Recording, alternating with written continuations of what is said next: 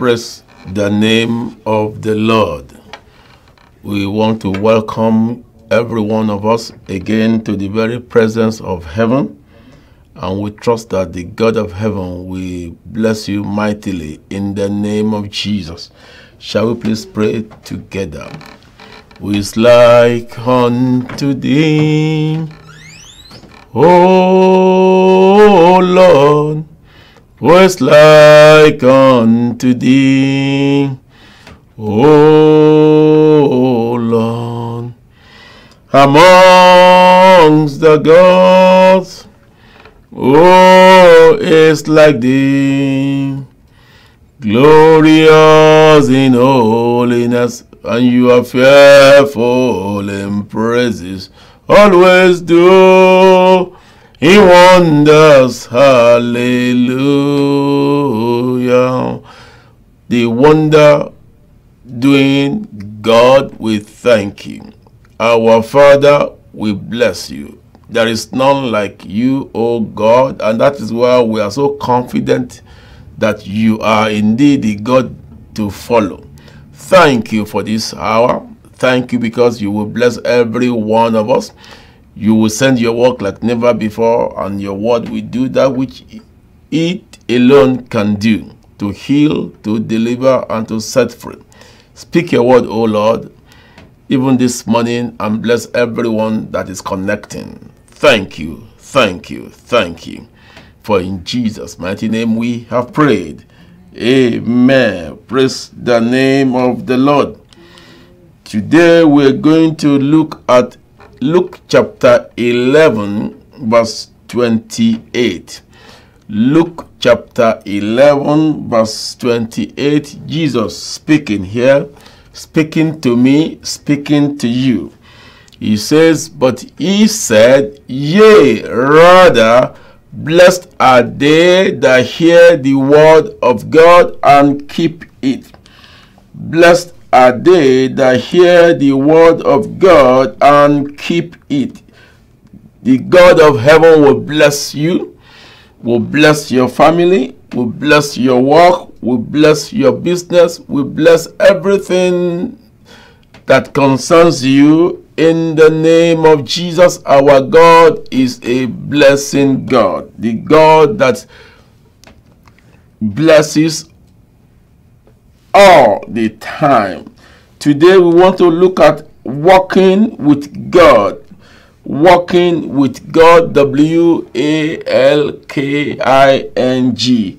Walking with God. Jesus said here very clearly to hear the word and to keep the word is to walk with God.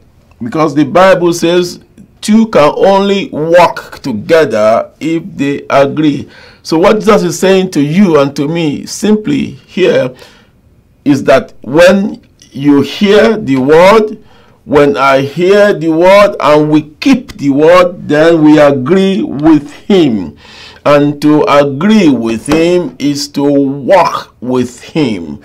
And when you and I agree with God, we agree with Jesus, then we can walk together with Him. And as we'll do so, He will bless us in return. Meaning, you do not walk with God in vain. When you walk with God and He walks with you, when you agree with God and He agrees with you, then He will reward you, and that reward is to bless you. Blessing in all areas of your life. Bless you financially, bless you physically, bless you maritally, bless you in everything that you do. And the simple reason is that you have agreed to work together with Him and have agreed to walk in His Word. Even as you make up your mind today that what you hear now and what you will hear and what you have been hearing and what you will study, uh, even the Word of God, even from this day forward, when you make up your mind that you will be for God, you can be sure He will be for you. He will be for you. I said God will be for you. And when He's for you, nothing can come to harass you. The Bible says, even in Jeremiah 17, verse 7, Jeremiah 17, verse 7, the scripture tells us that when you trust God, He will bless you.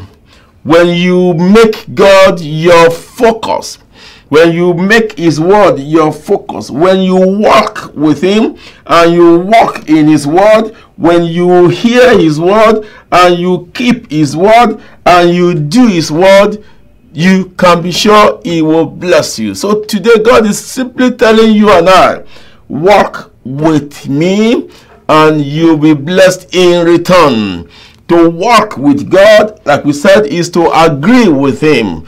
And to agree with Him means that even as you hear His word, as you study His word, as you teach His word, you must live the word. To live in the word is to do what you are studying, preaching, teaching, hearing, even of the Lord. And that will simply tell God that you trust Him and He can trust you in return. So it is of my good, for my good to walk with Him and to trust Him so that I can be blessed. And the blessing of God is on all sides and in all things. I'm sure you've heard the story of Abraham in Genesis chapter 22. Abraham, Genesis chapter 22. Yes, 22. If you read, if you can read from verse 15 to verse 18. Genesis chapter 22. Read from verse 1 actually to verse 18. But it's in verse 1, 2, and 3. We are told that God told Abraham, Go and sacrifice your son for me, even Isaac that you love. And what did Abraham do? He simply rose up early in the morning and he took Isaac along and one or two of his um, of his of his of his servants and they began to walk down even to Mount Moriah where God wanted him to sacrifice his son. They kept moving on. The Bible says it's a three-day journey. And as they got there, he did what God wanted him to do. He laid his son on the altar, about to sacrifice. And a, a voice came in verse 15. Let's see that this is chapter 22, verse 15 to verse 20 to verse 18. Genesis chapter 15, chapter 22, from verse 15 to verse Genesis 22, from verse 15 to 18. Oh, God will bless somebody this day much more than you can even imagine. In the name of Jesus. So the Bible said, And the angel of the Lord called unto Abraham out of heaven the second time and said, By myself, by myself have I sworn, said the Lord, for because thou hast done this thing, and hast not withheld the son, thine only son, that in blessing I will bless you. And in multiplying I will multiply thy seed as the stars of the heaven, and as the sun which is upon the seashore. And thy seed shall possess the gate of his enemies and in thy seed shall all the nations of the earth be blessed, because not that thou hast obeyed my voice. Abraham walked with God, he obeyed the instructions of heaven, and the Bible said in return, God pronounced irreversible blessings not only on him but also on his children and his grandchildren and everyone that belongs to the family of Abraham.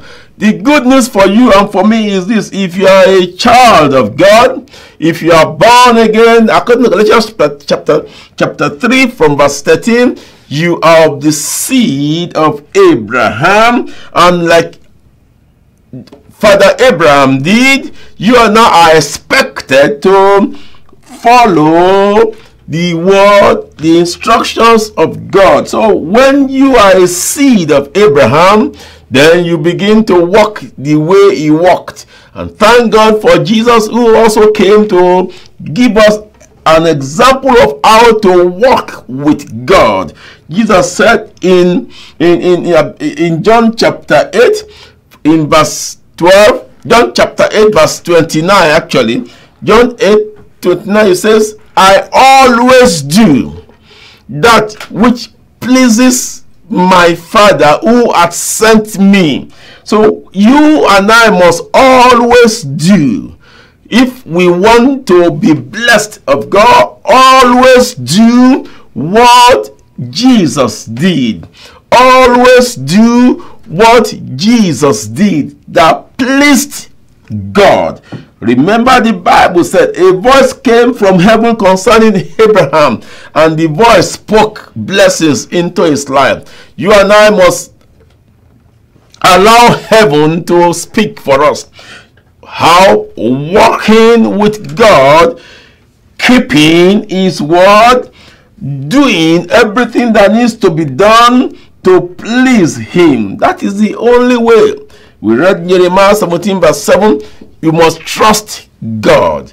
You must trust Him. You must put your hope in Him. You must focus on God. You must walk with God. You hear His word. You keep His word. Then He will be pleased with you.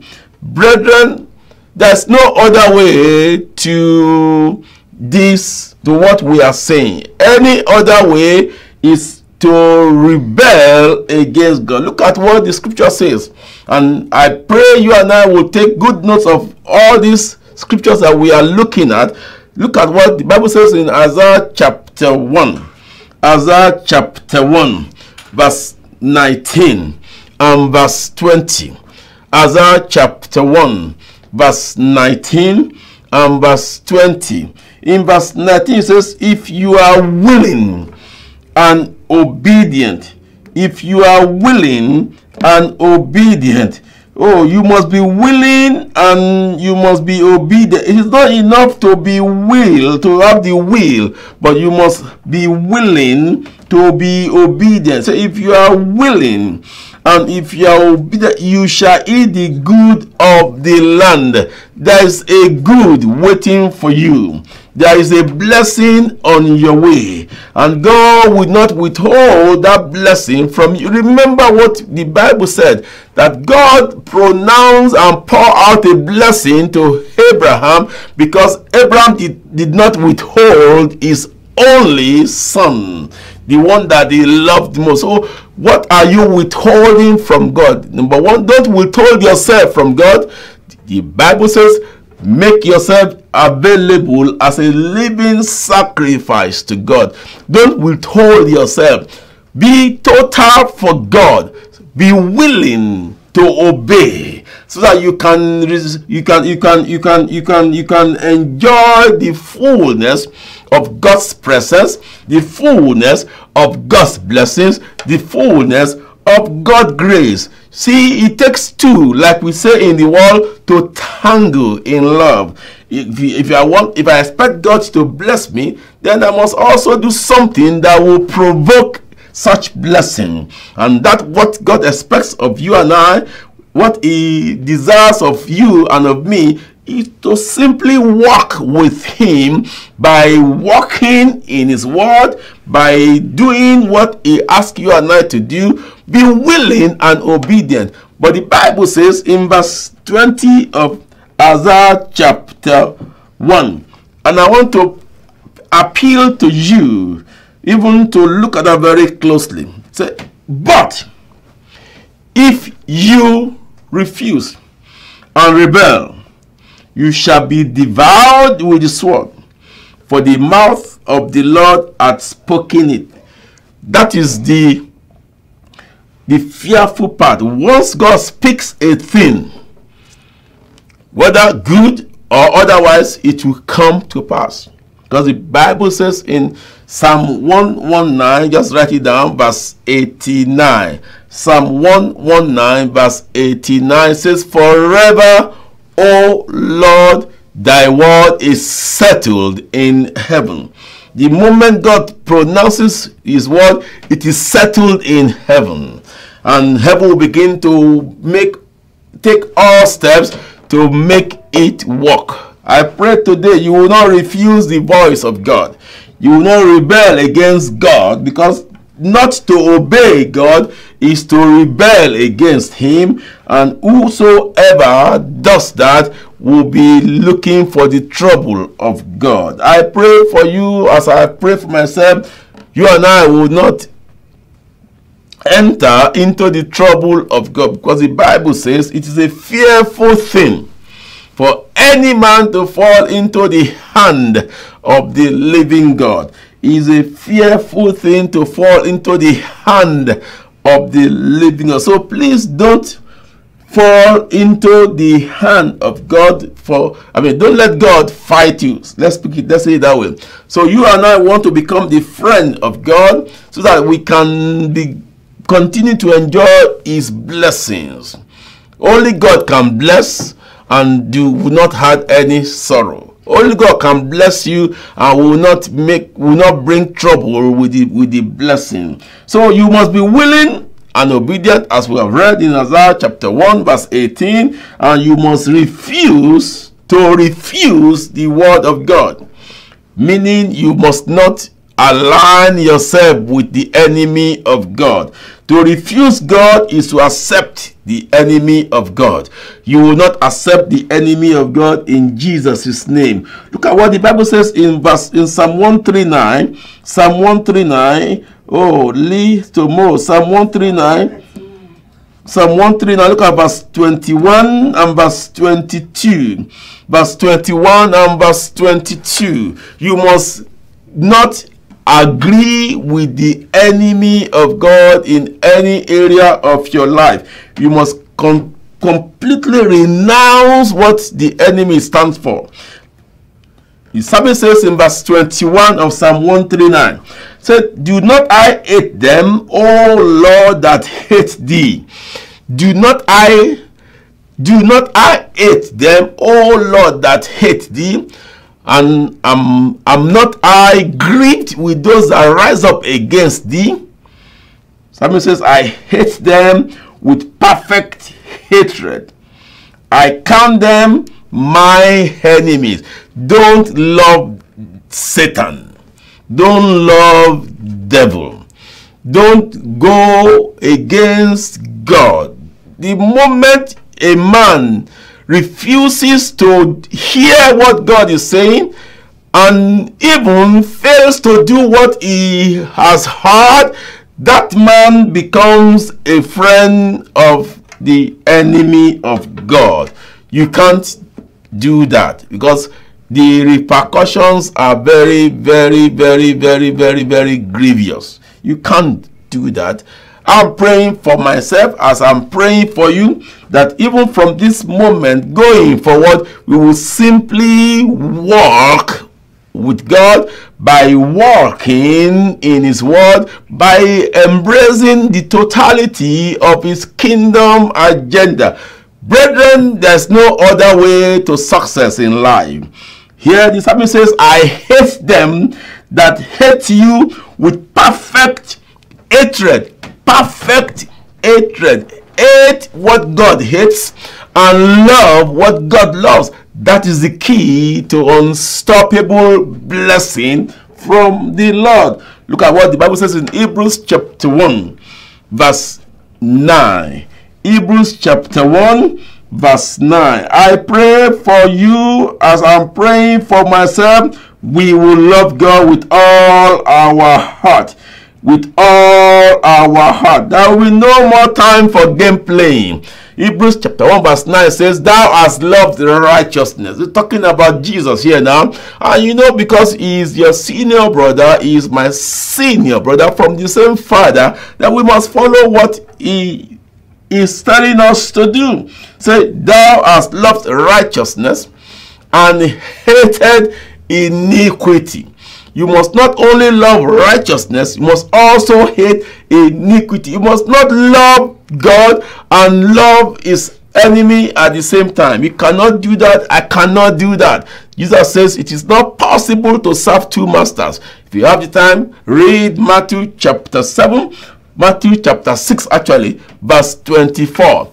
Matthew chapter 6, verse 24. I choose who I want to serve, but I have chosen by the grace of God to serve God and to serve Him alone. So Hebrews 1 9 says, You must not only love righteousness, you must also hate iniquity. You must also hate iniquity. And what will happen? Therefore, your God, the Bible says, even your God will anoint you with the oil of gladness above your fellows. Meaning, when you love God and you hate his enemy with perfect hatred, then God will pour on you the oil of gladness for joy, for progress, for all that will bring you unstoppable, irreversible blessings. So, therefore, my brothers and my sisters, as we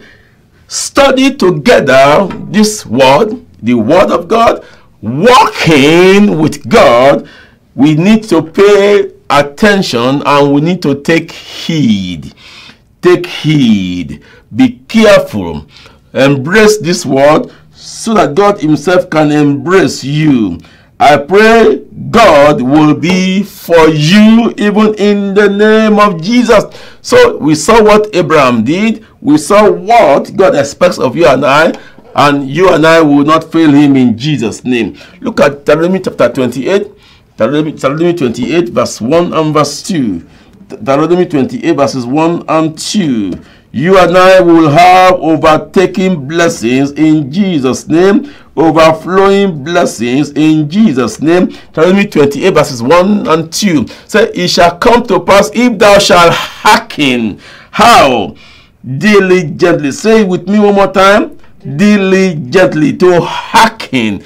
Diligently. To pay attention. See, you have you are hearing the word, which I know is not new to you. You have heard this before you hear it again. But pay attention to what you are saying, to what you are hearing, because it is the voice of God.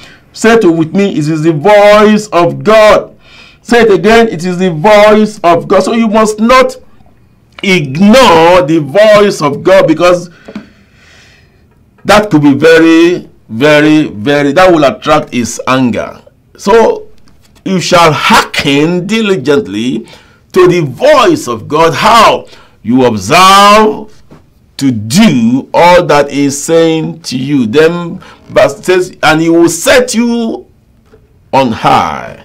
He will take you high. He will promote you. He will enlarge you. He will increase you. He will expand you. Even in joy, even in peace, unlimitedness of God will become your portion. Says, and all these blessings, say with me, and all these blessings shall come on you. Not only will you be blessed, you will have overflowing blessing. And the key is that you hearken diligently to the voice of God. Blessings, blessings, blessings. When you walk with God, when you obey His voice, when you willingly intentionally, deliberately, very diligently obey what he is saying to you. When you hate what he hates, when you love what he loves, when you walk with him in truth, and indeed with integrity, then you become the, the, the attraction of the world. I'm praying for you as I'm praying for myself. We will not we will not walk against the plans of God for our lives by ourselves. It's very simple. Just walk with Him, obey Him, and let Him trust you, and you will enjoy hope in heavens. Shall we be please begin to thank God for this morning? God has been so good to you. He has been so good to me. He has our best interest at heart. He wants us to enjoy Him like never before. He's simply asking you and I, walk with me. Walk with me. Embrace me. Embrace my word. Don't ignore my voice. Say, My Father, my Father, my Father. Thank you for your love for me. Thank you for being so mindful of me. Thank you for your interest in me. I'm so grateful to you. Talk to him because he loves you. That's why he has sent forth his word to you today. And it behoves on you and I to embrace the word. Lord, we thank you for your love. We thank you for your word. We thank you because you are a good, gracious God. To you be all the glory. If you have heard me this morning, you have heard the word of God, not me. You have heard the word, and you have not you are not yet in the book of life of God. Please consider coming to Him.